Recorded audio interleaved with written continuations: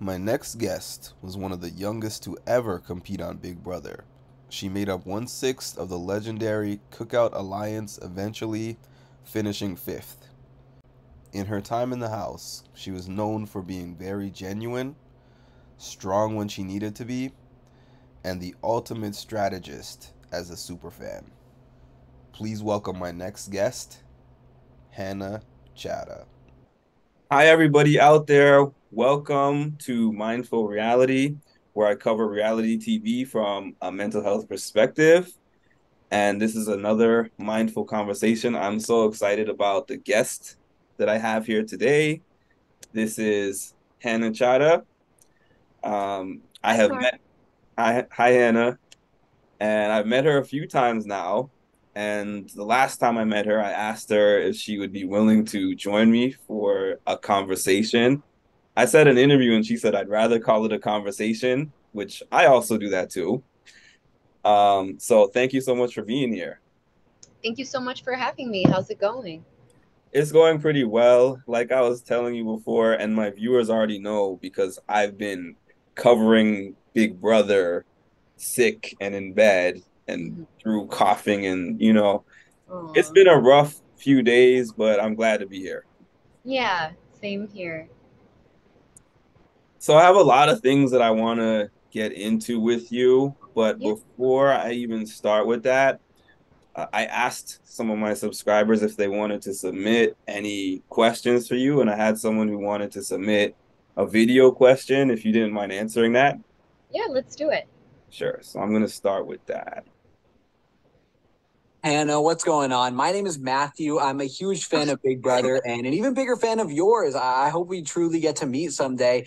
But um, I just had one question, and it was how does it feel living with all of the weight on your shoulders of being the number one queen of the wide angle camera? You know, I've just been dying to know, and as a big fan of Big Brother who hopes to make it on the show one day, I figured I'd ask. But Mark, Mark, thank you for the opportunity to ask this question. I'm your number one fan, Hannah, and with peace and love. Bye.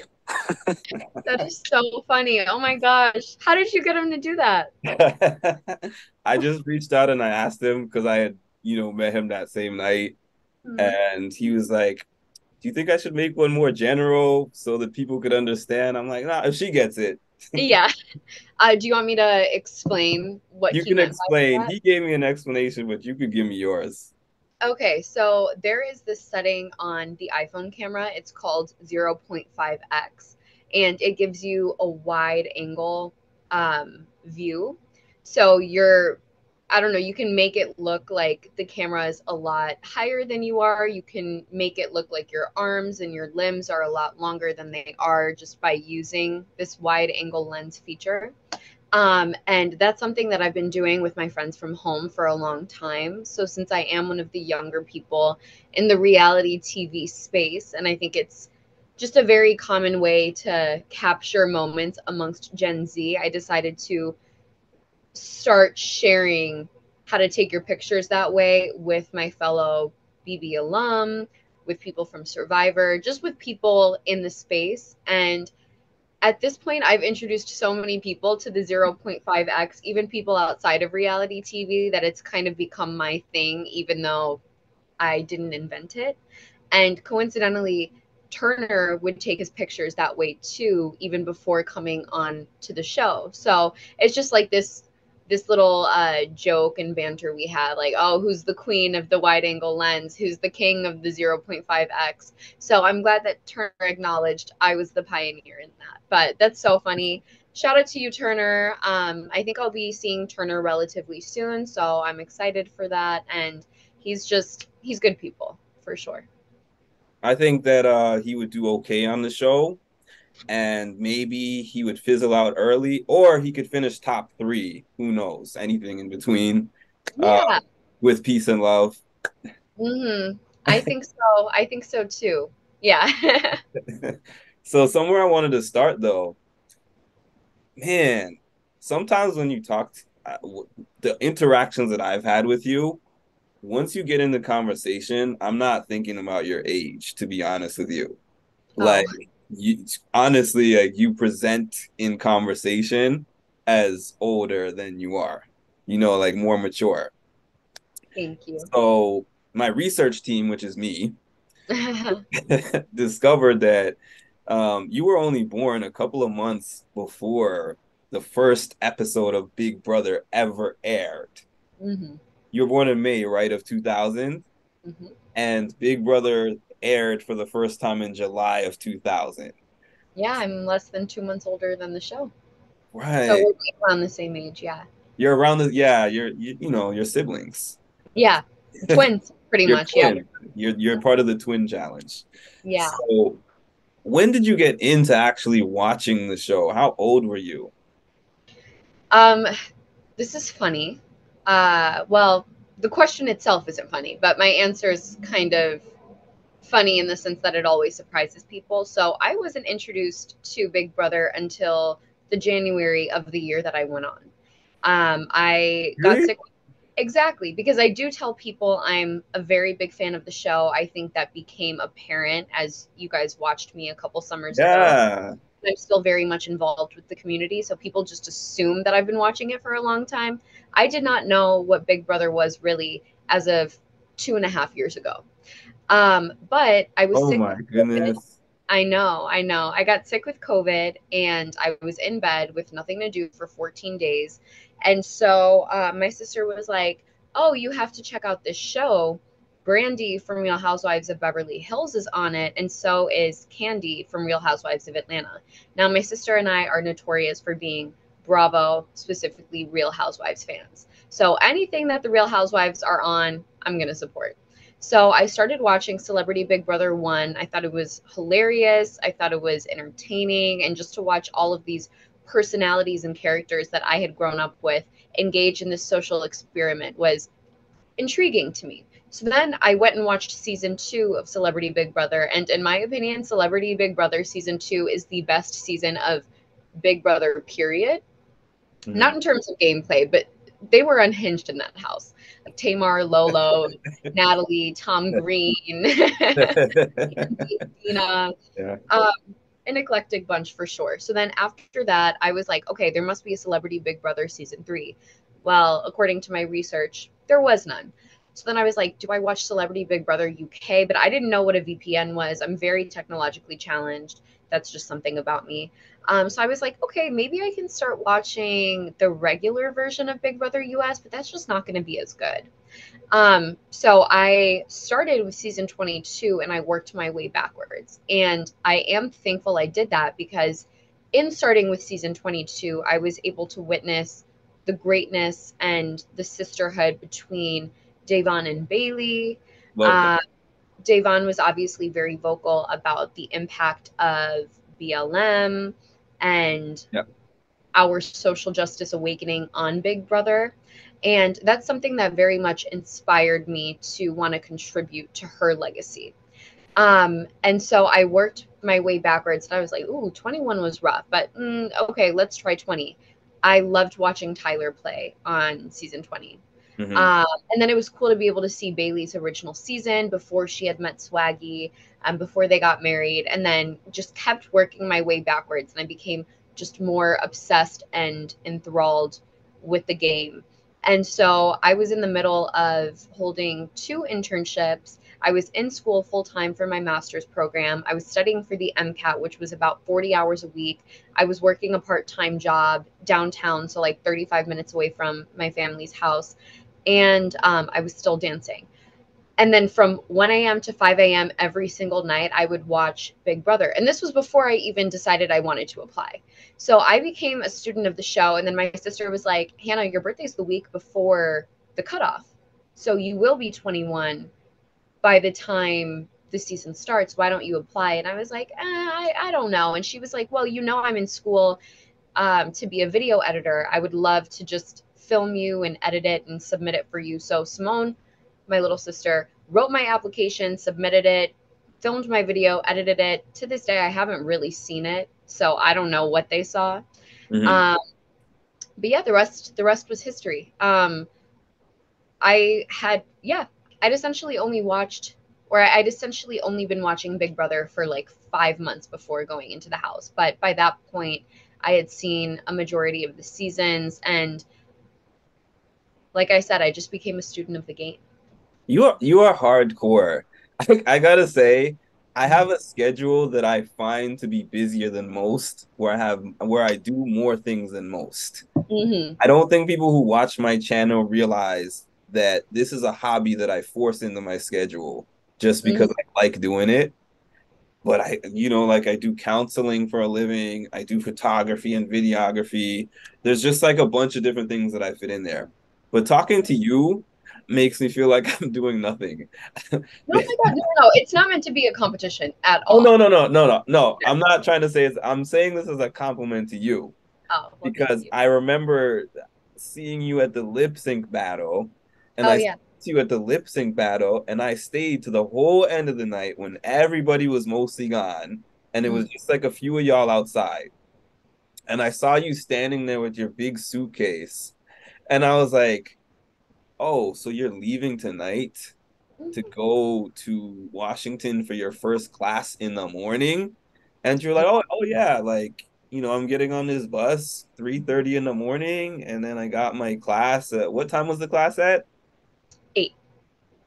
At what time did so my sister lives in that area. So I'm like, mm-hmm. I know that gotta be a good what four hours or something like that to, to get yeah. you It was about three and a half hours. I got three to and a half hours.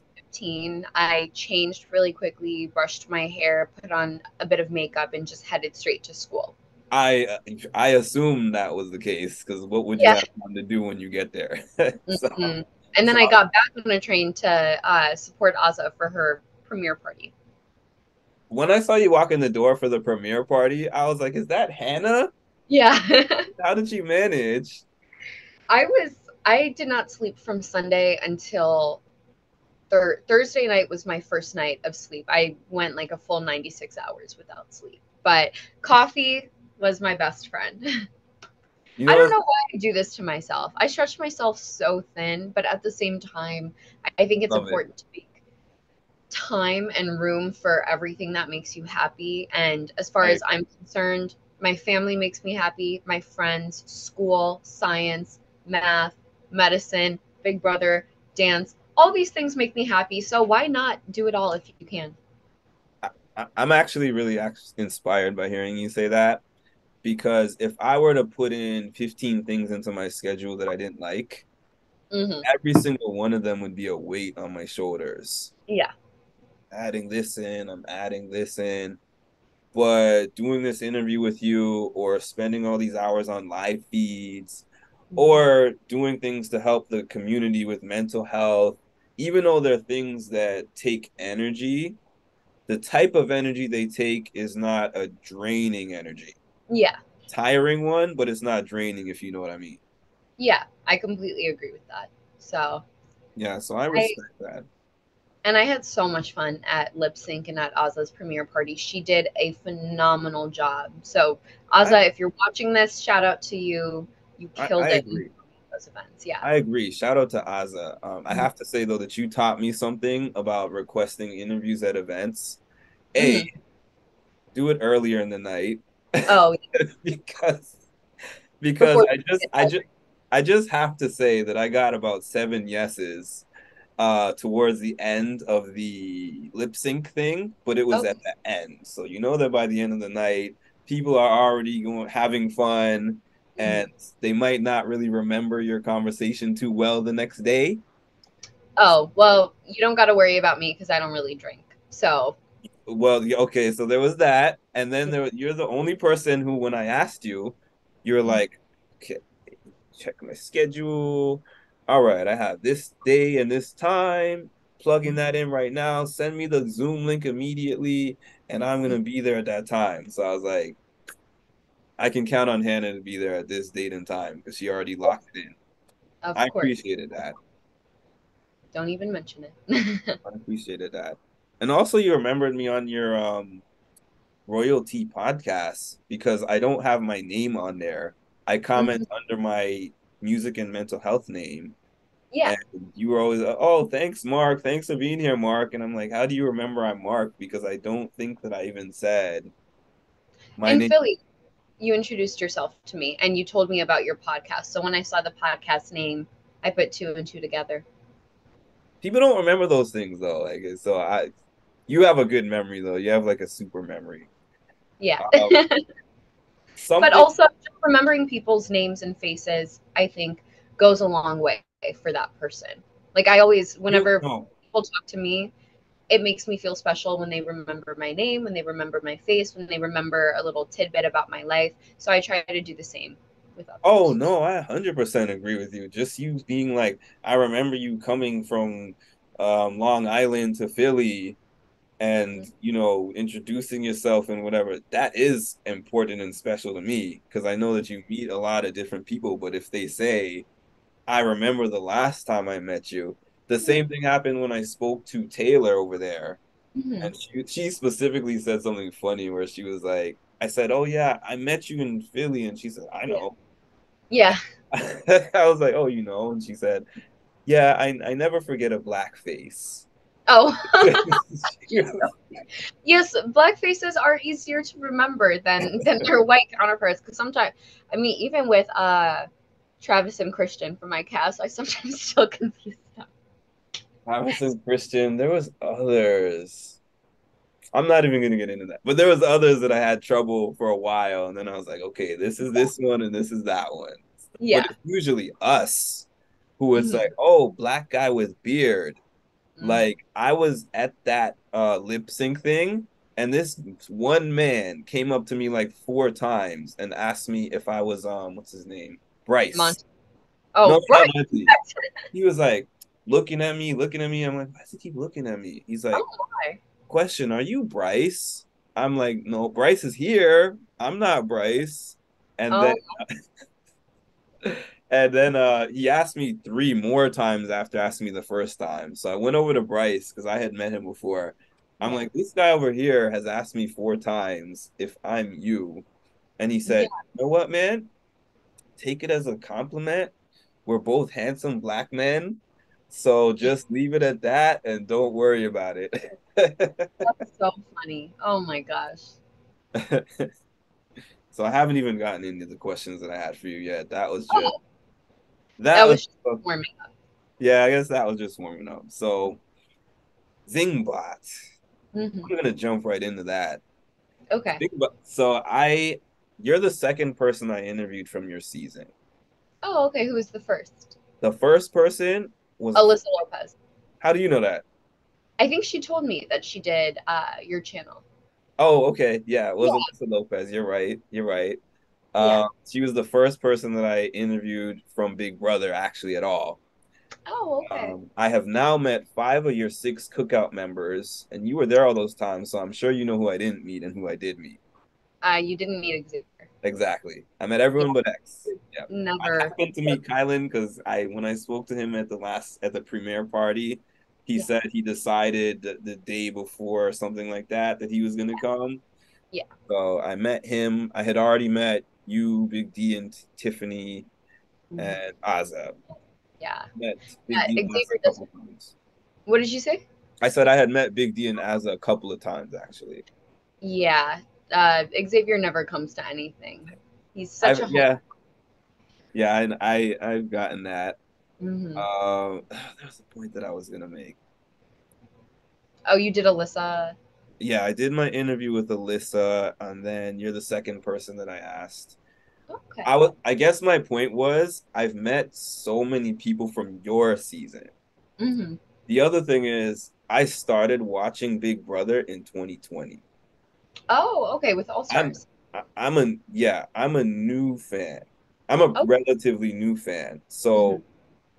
I didn't know I relate to you in that way, even though you've seen more seasons than I have and Mhm. you know a lot more about it. But I was a lifetime challenge fan.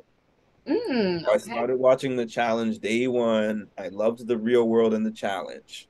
Wow. And then they started putting all the Big Brother people, Josh, Fessy, Kaycee, uh, Amber B, like a bunch of them. Tommy they added recently, like a bunch of them that they put on there. Yeah. I was annoyed. Oh. Not That is- because, not necessarily because I don't like them. hmm It's like imagine you watch a show and you know everything about it. You know all the background stories. hmm I remember this one particular season with Kaycee and Bayleigh on there. and Mhm. they were trying to give some like connection between some beef they were having on the challenge and Oh. relate it to their relationship on Big Brother, Mm. where Bayleigh was saying, We had this really close relationship, Mhm. almost flirtatious in nature. And now when we get on the challenge, he's not riding for me like that. And they're just showing us a little 10 second clip of them laying in bed together. If you've Mhm. watched enough Big Brother, people cuddling with each other and is not really an indication of like we're about to get in a relationship or we're feeling that kind of way about each other. So I didn't know. Mhm. So yeah, I, I don't know either, just because Kaycee and Bayleigh's friendship wasn't really covered on the show like that. yeah. Um, and I didn't have access to season 20's live feeds because I didn't start watching the show until a couple years later. So Yeah. I didn't know anything about that. Yeah. But yeah. Yeah, so like 2020 um the pandemic and I'm here in New York. So everything was locked down and shut down. My job became remote. They said we have a 6 p.m. curfew. You can't go anywhere unless you're an essential worker. This and that and the Mhm. other. So I was like, there's nothing to do. So Mhm. I subscribed to all these apps. Mhm. Paramount Plus. I resubscribed to Hulu, Netflix because at one time I said my life is interesting enough. The things I see outside in New York are interesting enough yeah. that I'm not really into these TV shows anymore. hmm But then when I was stuck in the house and I couldn't people watch or I couldn't do things, events and all that stuff, I was like, might as well give it a try. My friends are all telling me you need to get into Big Brother. Yeah. I told Alyssa this too. I started on season 16. I loved season 16. Mhm. I went to season 10, and then I went to season 1, and then I went to season 22. I saw like half of it live. Okay. And then your season, though, was the first that I actually sat down from the time the season started, Mhm. episode one, to the Yeah. final episode. So I'm I'm spoiled. I'm biased. hmm I loved your season. I know some people were like saying so many different things about it. It was boring. The alliance protected each other, so it's not, it doesn't count the same. There's reverse racism going on. Like, what did you think about the feedback that you were getting about that? Um, I'd say for the most part, it was more positive than I expected it to be. I didn't know if, because when we're encased and entrapped in that house, we don't know how the public's perceiving us. We don't know how CBS is covering and sharing our story. So I sort of adopted the mindset of prepare for the worst. So I was expecting to come out of the house and, you know, be hated, but instead, or not hated, but I, I just expected there to be a lot more pushback from the main demographic that watches Big Brother. My fear was that they wouldn't be able to empathize with us. They wouldn't understand why something like the cookout was very necessary at that time. Yep. Uh, but for the most part, we were met with a lot of love and support, and people from all different backgrounds saying that we inspired them in some way, shape, or form. And people, especially within the Black community, being like, it was so nice to not be forced to relate to tokenized Black women on the season or the tokenized Black man. Instead, there were six of you, and all of you were so different from each other. So I didn't have to relate to you, Hannah, if, you know, we don't really share that many similarities. Instead, I could relate to somebody like Azah and I could see myself reflected in her. So it it was better than anything I could have expected walking out of that house. Um and also like as a super fan of the show, I think the only thing you want is to be able to leave a legacy on the game that supersedes you, that extends beyond yourself. And very few players have been able to make that kind of mark. Janelle, Dan, Dr. Will, mostly white players, Devon, the cookout, Taylor. Like I'm I'm part of, you know, that group that probably consists of less than 25 house guests.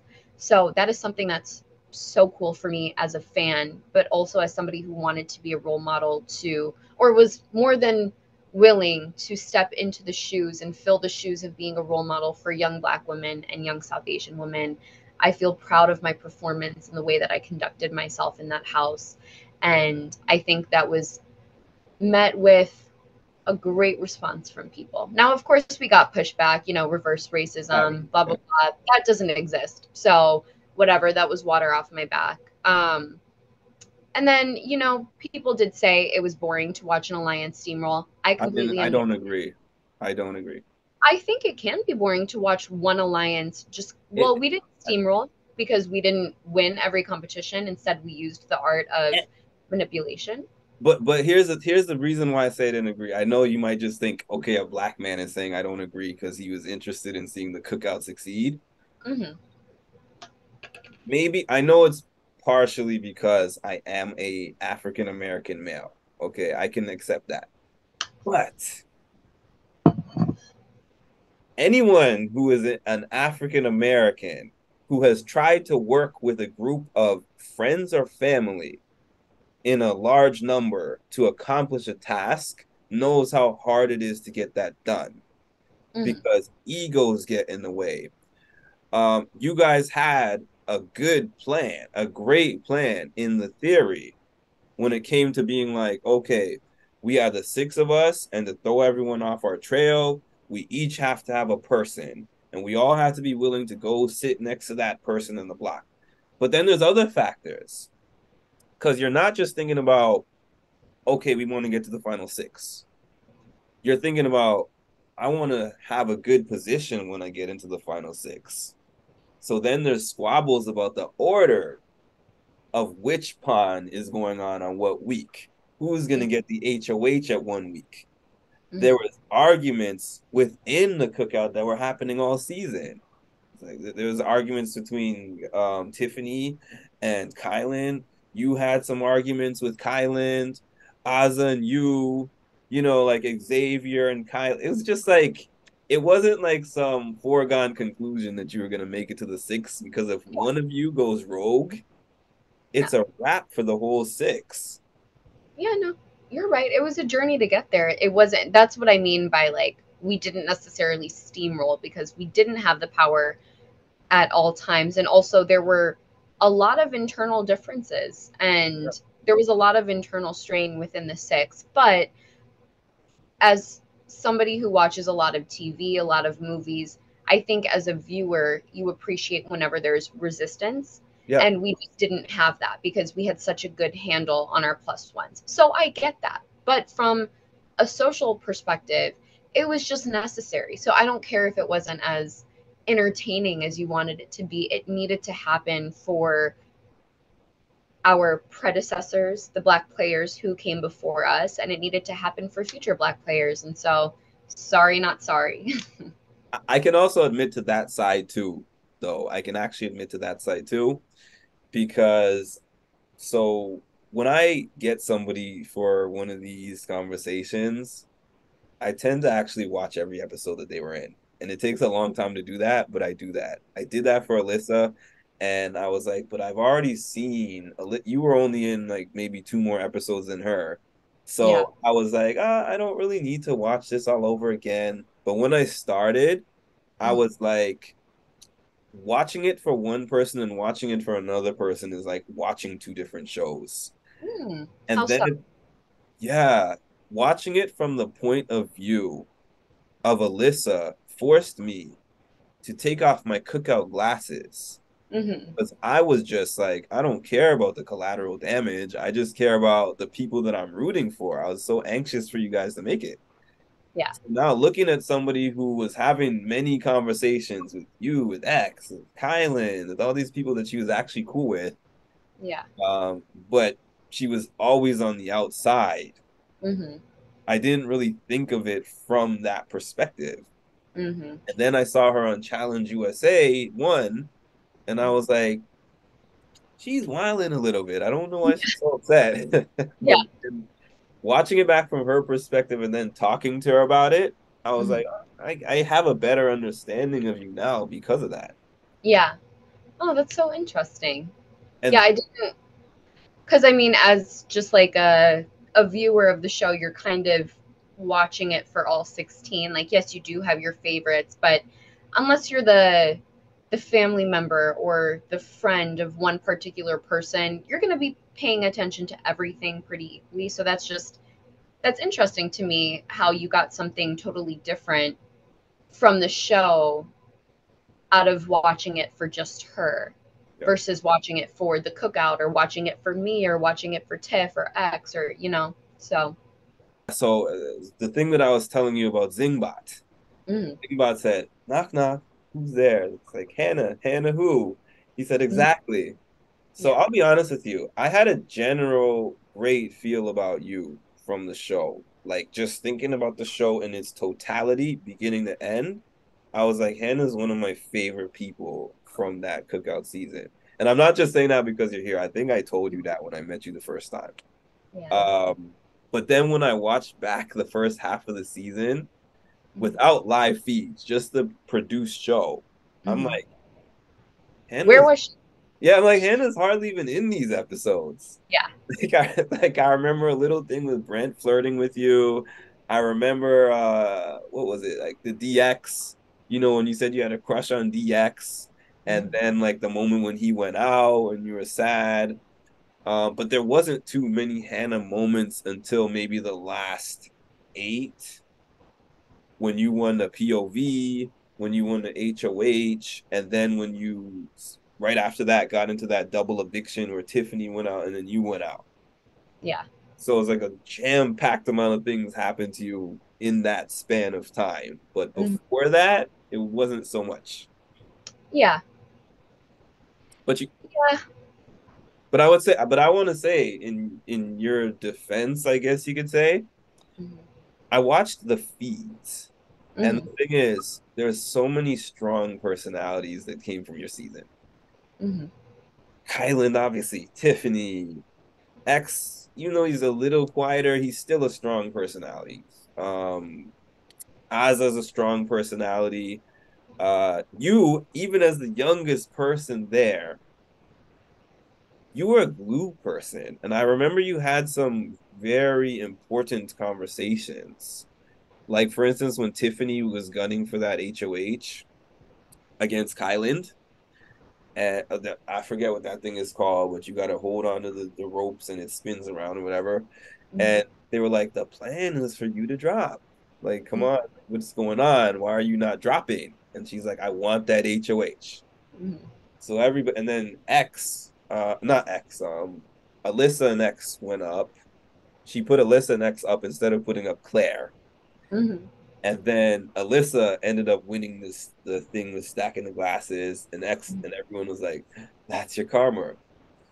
You were the one person who was actually like, even though we're trying to get to the six, everybody still has their positioning that they're trying to get to in the game.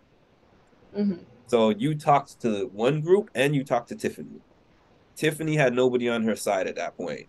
And you Mhm. were like, there's a way that you can inform Claire without exposing the whole cookout, but that makes you feel better in your heart. Mhm. And you were trying to convince the guys and everyone else, like, I know that you guys are mad that she did not do this as planned and just put Claire up there in the first place Mhm. but it's hard for all of us because I know all of you had a hard time with your person when it was Yeah. time for them to go. Yeah. Yeah, no, that's that's a very accurate um I guess portrayal of my journey. Um I mean, I'm a relatively reserved person. I I'm never going to be the loudest person in the room, especially when I'm in a room of 15 just super out there people. Um, so yeah, I, I did take a back seat, and I think on top of that, I would wager to say I sort of like fill my own archetype. I'm sort of a derivative of like the Ian archetype or Corey from this season, but they're white men, and I'm a young black woman, a young South Asian woman, and I'm also a brainiac. I love school, that's my thing. And so I think it was very hard for producers to edit me. I think it's hard for them in general to edit young women who aren't just there to be in a showman's. So I think that was a struggle of theirs, like me sitting back, observing and being quiet, combined with them just not really having a precedent for me. Um, and a lot of my story did initially revolve around the men in the house. Like there was that storyline with me and Brent. There was that storyline with me and You Derek and those were just very minor aspects of my game. Yeah. But I think once I was on the block in week four, that's when you started to see a bit more of me because you have to show the nominees. did, yes, yes. And I think that's when people were like, "Oh wait, okay, she has a she's picking things up. She has a mind for the game. She convinced Christian to not target her when I guess four people, the whole Kings team or maybe three people were like ready to send her home. And then a close ally of mine won HOH the following week. So I think people were like, "Okay, we're getting a bit more of Hannah." Then I think once Derek X left, I was no longer in anybody's shadow and I was just allowed to be myself. And at that point, I had gotten more comfortable with my stance and my social position in that house that I wasn't as reluctant to to peel back those layers if that makes sense. So yeah, when Zingbot said that, I was like, okay, I'm not terribly surprised. You have Tiffany who's running around always in every single conversation. She's always doing improv and hosting mafia and doing this and that. That's never going to be me. So whatever, make make these house guests believe that I'm not doing anything in this game. So it wasn't a, like Zingbot could have called me dumb or Zingbot could have said something that would have really hurt my feelings, but he didn't. I would I would say that honestly, you got one of the nicer comments actually, uh, compared to some of the other ones. Our season's comments were not They were all fairly tame. Yeah. yeah, yeah, yeah, yeah. So when it came to the cookout, you were not explicitly informed of the cookout. You said you knew that the five were working together. Uh, there was a conversation that you had on the live feeds with Tiffany where she was like, I'm sorry that I didn't consider you like a black woman at first. And you actually said in your first introduction meeting with the whole house when everyone did their introductions, you were like, I'm half, you know, South African and half Indian. Your mother is is uh South African, is that right? And your father is Indian. So you said that you were like, I assumed that saying that would make them know, like, yeah, I'm one of y'all. But then uh, Xavier told you he thought you were part of the white South Africa. Yeah. So I know that you said that you understand it at the time, but like, what was your initial feelings of them having you? Like, as I even said, I thought it was the five plus one at one point. Mm. Yeah, I think there are multiple layers to why I was excluded um, at first. I do believe that they were always going to have my back and protect me. I think age had a lot to do with it. And now that I'm 23, if my because my sister is the same age that I was when I walked into that house. So if I were to see one of her friends or one of her peers walk in, I'd probably be a bit trepidatious of them too. That's something I can totally understand. They weren't they didn't know me, so they didn't know if I'd be able to comprehend why the cookout needed to form. They didn't know if I had loose lips. They didn't know if I could understand that the cookout went beyond the six of us. So I'm going to give them that. Um, I also do think that Big D, Xavier, even Azah right off the bat weren't aware that I was black because in South Africa you have black people, you have white people, you have a lot of Indians, a lot of Malaysians, you have the coloreds, which are like the mixed people. Um, so I think Azah just assumed that I was colored.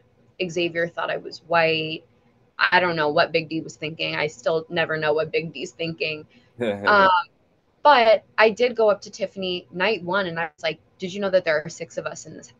I said the exact same thing to her, and I think it was Kyland that Big D said to all of them. And I was like, There are six of us in this house.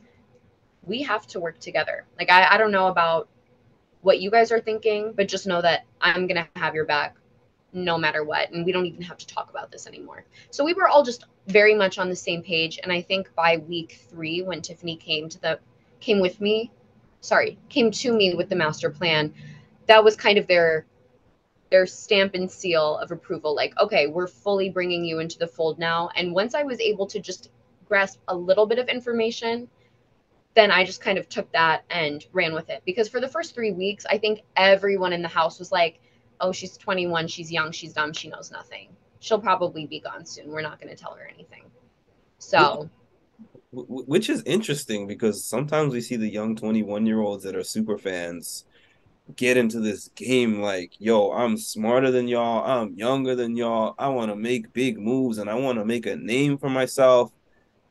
I really think it's a skill in and of itself for you to not have been viewed as that level of threat. Uh, I think people were kind of scared of me. I think they I think some people were threatened by my memory at the very least. Um but again, I just don't really think that there has ever been a Hannah Chaddha in the game prior to Hannah Chaddha. Like a, a very, since they implemented the age cutoff, I still am the youngest person to have played like at, at that time. Obviously yeah. now Corey's younger than I am in present time. But um so not only was I super, super, super young, but I'm also a woman and I'm also a woman of color and I'm also a black woman. There had never been a freshly turned 21 year old who is black ever. So I, I, think people just didn't know how to deal with that. I think the show didn't know how to deal with that. I think my house guests didn't know how to deal with that. And I kind of leaned into that a bit. I was like, oh, yeah, I'm just the baby sister. Don't worry about me. Yeah. Mm-hmm. You know what? You know how I told you that this is like watching an old movie that you've seen already? You're like, oh, I already know. Like, it's not going to do the same thing for me. I'm skipping ahead of a lot of stuff. Okay. But your eviction on the double eviction night, I was sad like I was watching it for the first time because I actually remember that I was sad when I watched it originally. Yeah because it was like it was such an epic high and low for you to have just gotten HOH not that long before that, and then you had your thing where you got Alyssa out, and uh, you were you had I guess you could call it the most pivotal elimination because it was the one that brought you to the six. Yeah, and it wow, it looked like it was such a pressure moment, especially when you were talking to Alyssa and trying to explain it to her and you knew what you were saying was not true. And she was like, "Well, what about this final two that we had? Was, was that nothing? Like, what's going on with that?" And you had this look on your face, like I wondered how you felt in the inside. I felt so bad. I felt and, so bad. And then it was like so quick that it's not even like a thing where you're like, okay, I can work an angle, or I can, it was just like she's right in your face, right there. Seconds later, and she was like, uh, this doesn't make sense to me. You think that I'm gonna be the one who stays? You're like, yes, X is the part. I mean, X is the target. And she's like, mm, I don't know about that. And then just kind of leaves on shaky grounds with you, but you stood firm with what you said. Mm-hmm. Yeah, no. Were that... you panicking? Were you feeling like stressed on the inside? No, not stressed, not panicking. I just felt bad more than anything. I felt bad that well, A, I felt bad lying to her face because we had just formed a final two and we were like since Christian left, since Derek X left, we had been getting closer. Um and towards the end of her time in the house, we had had some great conversations. So I felt like I was betraying a friend. I felt like I was betraying our game relationship, our personal relationship. Um, but I also just felt so guilty for the fact that I was excited for her to walk out those doors. Because the second she walked out those doors, we were going to be at Final Six. So more than anything, I was just sad for her. And I was like, uh, why did I why did I do this to myself? Why did I have to be the one to win this HOH? And the only reason why I won that HOH because was because I didn't trust that, you know, Big D or Xavier wouldn't keep Alyssa in the game and perhaps try to take out Tiff or Kai. So, yeah. And you were the one. I, I mean, I don't know if they just didn't show it with other people, but you were the one who created the plan for just in case Alyssa had won. You're like, I'm gonna throw in this vote for Kai. I'm gonna throw in this vote, the sympathy vote, and say that it was Kai. And mm-hmm. then if Alyssa, in the event that Alyssa wins, um, I'm gonna pin that on him, and hopefully he's gonna be the target. Mm-hmm. Or if things don't go exactly according to plan, to be the first one out. So your yeah. That's when I finally started to actually see verbally and visually that your gears were really going. Mm-hmm. Yeah, always. Yeah, so I guess I'm just gonna cut those ones out. Uh, you already answered how you felt about being part of that cookout season. You said it was really special for you, um, regardless of not coming out of there with the with the big win. And I just wanted to jump ahead with a few questions about, I guess, one or two questions about 24 and a few questions about 25. Sure. I do have to go in like five minutes, just letting you know. Okay. So forget about the 24 question. Okay. Uh, the 25 questions. One of them. How do you feel about Cirie and Jared being on the show? Ooh, okay. Well, I don't think we've ever had a mother and son play. Mm-hmm. Um, so it, it makes me happy that they have each other in the house. And it also adds an element of like, ooh, are people going to find out their secret? Is Izzy going to say something? When are people going to start connecting the dots? Because they have the same face. Um, yeah. But Cirie is such a legend. She's amazing at these games. She she's the best. Uh, she's the best to have never won on Survivor. She played Traitor. She won that and now it's it's very cool to be able to watch her mentor her protege which is her own son. So i'm i'm loving that twist. I am too absolutely. I have to ask you if i only have this much time left. I definitely have to ask you about this luke thing that just happened. Oh yeah. And i just want to know how you felt about it when you saw it and how you feel about cbs's you know quick rea- reaction and removal of him from the show. Yeah great question. Um I mean, kind of throwing it back to BB24 with uh, the Kyle situation, the cookout sort of expected that to be a possibility. We expected there to be some fear in the season directly following ours that the Black people or the POCs or any minority group would be working together. Um, but the fact that Kyle was bold enough to say that in a post BB23 world, I was like, ooh, okay, that's that's bold. Um, now on this season, Luke, did you not learn from? Did you not learn from the Kyle situation? And also, why are you out here saying the N word so casually? Like that's most definitely a part of his vocabulary. And I was listen, I can't tell Jared how to respond or how to feel, but it very much to me felt as though Jared just gave him a pass. He he was also incredibly nonchalant about it, and then the way that it was portrayed in the episodes because feeds were down, so we didn't get to see like the the direct ramifications of Luke being expelled and all of that. We just know what we got from the episode. Um, CBS sort of like took Jared's voice and held him to be the authority on using a racial slur yep. on national TV. So we didn't get to hear from Cirie, we didn't get to hear from Felicia, Mecole, Kirsten, any of the other people of color in the house. We explicitly heard from the person who they knew would be the most sympathetic towards Luke. And, you know, as a black man, he uh his voice was was more credible than most, or his voice is more credible than most on issues pertaining to the black community. Does that make sense? So like they didn't yep. they turned to the safest voice they could get. And I thought that was kind of coaxing the situation and diminishing the gravity of the situation. However, I am pleasantly surprised with how swiftly CBS removed Luke. Um, I did not expect that in a million years. I thought CBS would just issue a blanket statement hey, the views of these house guests do not reflect the views of our network. And I thought they were just going to keep it moving. Although I am sad that Kirsten still had to leave. That was that was unfortunate.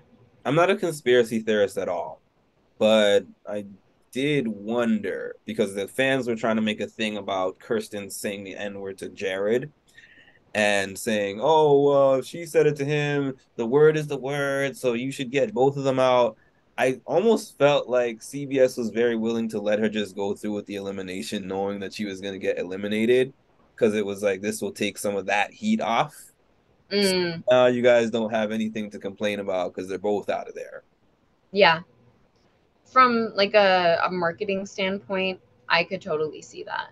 But that's ridiculous. Like Kirsten saying the N word is not the same as Luke saying the N word. What? For so many reasons, and I know there's not much time. So I guess the last thing that I'm gonna get into you with is Izzy. If Oh, you, if you were on the show, right? Mhm. You're Izzy. You know, I don't care. You're Hannah. But you come on the show as a Survivor super fan, is what I'm trying to say. Mhm. You immediately identify.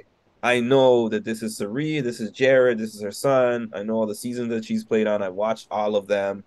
Yeah. when they showed the edit of how it happened, like day one, grabbing this man physically, I know that you're Jared's. Uh, I, I know that you're Cirie's son. Uh, don't worry, your secret's safe with me. We're gonna work together. I Mm-mm. felt like that was just a really sloppy, uh, dangerous way to have done it. Oh yeah. How would you hold that move or that power? I love that question because I one of my favorite things about watching Big Brother is just thinking through the different game scenarios and what you would choose and what you would say if you were in that um, predicament. But a Izzy just did that so hastily. They hadn't even set their towels down from being outside, and she just came. She blurted it out, and she didn't even try to be quiet. Like it, it's very No. possible that someone else could have been within earshot. It doesn't seem like anyone else was, but she just wasn't careful. She was sloppy with it. Um, I would not have done that. I would have made the connection. And if Jared were on the block, then I would have definitely waited to see who won HOH because you don't know who's going to hold the power. And if I ended up winning HOH or a close ally of mine ended up winning HOH, I think I would kind of observe how Cirie and Jared are interacting, how they're integrating themselves within the house. And if I feel like, okay, I can leverage this information to gain me more social capital because these two are kind of like controlling what's happening, then I would go up to them. Um, also, if they were on the fringes, then I would leverage that information to pull them in and kind of build like an army of my own because Jared was on the block, he was in a vulnerable position, and so he he wasn't in the position where he could say like, okay, so and so has to go home because he was in jeopardy of going home. But if Jared were not on the block, I would not. I would take my time, even if I waited like a week, a week and a half. I would also like want to know who else has observed the same thing as me. I would listen for rumblings. I think the trick is just to listen and wait and be very meticulous. So that's what I would have done. I- think that generally a lot of this group, Riley, um, Hisam, even a lot of them are strongly overplaying. Yeah. Uh, they're overthinking. They're talking too much. They're revealing too much in these HOH conversations with everybody. Oh, I'm aware that you're in an eight-person alliance with this, this, this, this, this. Is that is that true? I've Yeah. heard that you said if this goes this way, you're gonna do this, and I would respond by doing this, this, and this, and I'm like, you're only in HOH for one week. but honestly, I'm loving just how unhinged everybody is and how Oh, As a as a fan, yeah. not, not as someone who's trying to win the game, but like as a fan watching it, I love it. Well, quick question for you because I do have to go. sure. Um, who do you think is going to win this season? Who do you think is going to have an enormous fall from grace? And who do you think is our dark horse? Oh, okay. So I didn't even expect to get a question. hmm All right. Dark horse. I kind of want to say between like Jag and Blue. Jag, Jag and Blue. Um, Blue is kind of she's in alliances and groups, but in she's also kind of laying low a little bit, and not many people are doing that. Okay. Um, uh, Mimi might be a little bit of a dark horse. Okay. I'm rooting for Cirie, but I know that Cirie has so many odds stacked against her. Yeah. Um, so that would actually be a tough win. Um, I think Hisam is doing a little too much. I- Yeah. I feel like he's gonna try to win every competition, Yeah. and he's gonna want to be this. People compared him to Kyland. I don't know if you see that comparison at all, but Oh, actually, sort of like the way that he's been conducting his his HOH is HOH is specific. very much like Kyland. Um, but I think he's gonna try to be a Michael. He's gonna try to beat Win Michael. everything out. Yeah. Yeah. Um, so what was the other thing you said? The winners, dark horse. Was who's gonna flame out? Yeah. Well, I think Riley has kind of already done that. I think that uh Cameron has kind of done that. He talks way too much. Yeah. And he has a terrible read on the game. hmm Um Corey, I'm not sure of because Corey is very smart and he knows about the game, but it seems like he just doesn't know which direction that he's going. So, Jared, Jared, I could see being a potential to be like, oh, he's here in the final three, or he just talked way too much, and everyone was like, wait, he's on this side, this side, and this side, and that side. So we need to get him out. Yeah. That'll be my answer. Okay. What, what about you? Oh, what was that? My pick for winner. Yeah. Winner. Um, I'm I'm I'm going with Cirie. I'm going with Cirie. That's It's an easy pick. It's an optimistic pick. Take Cirie out of the equation, and I might go with. I actually might go with Mecole. Oh, okay. Okay, interesting. Um, I totally agree with you on Jared flaming out. Um, I see Jared being like an early jury boot, like maybe first in jury, or maybe one of the last people in pre-jury. I just think he talks a lot.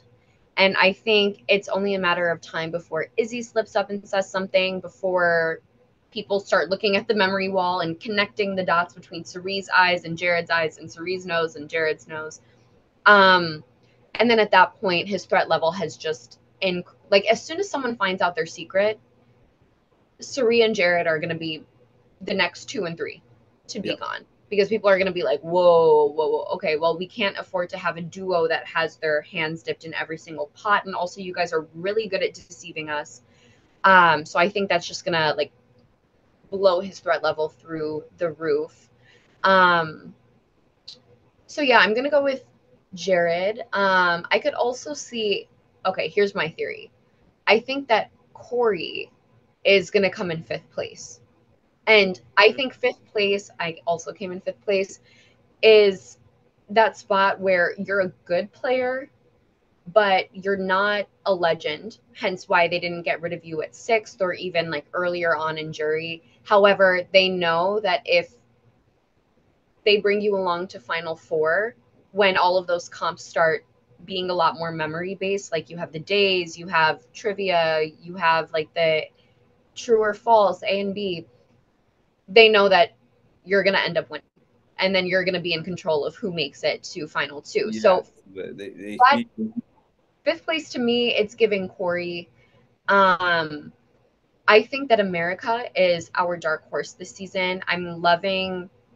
She she's very she's she kind of reminds me of like my journey, and Oh, maybe oh, I'm I can see that because Right? I I didn't really see her in the first week, and then all of a sudden I'm like, she's in some of these important discussions with important things to say. Yeah, and I, I just I like how she, despite being a super fan, because she really is a super fan, she tell. it's she's not letting that like cloud her judgment. She's not letting herself get too excited. She's chill. She's in the background. She doesn't have to be you know the ringleader of all these discussions and groups and alliances she's comfortable with taking that back seat. But whenever you hear her perspective in the dr you can tell she's thinking about things and she's observing and she's analyzing. And she was one of the few people who was like wait why don't we consider keeping kirsten? Yes, how is getting rid that. of good for every single person in this house? That's not possible. Yes. so i think she's one to watch. Um but again i think the show just struggles with editing people like her. She's obviously very intelligent, very accomplished. Um, so America is the one to watch. I still have Jag as my winner pick. I think he's just super cool.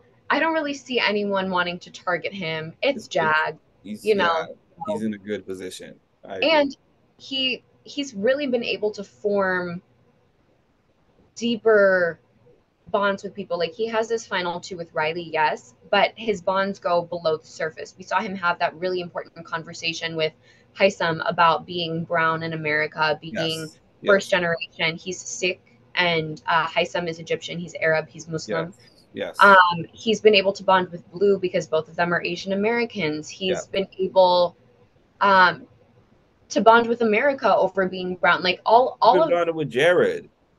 Jared, exactly. So Jared was talking about wearing his uh, his chain and his do rag, and how it gives him comfort, and comparing exactly. that to the turban and everything like that.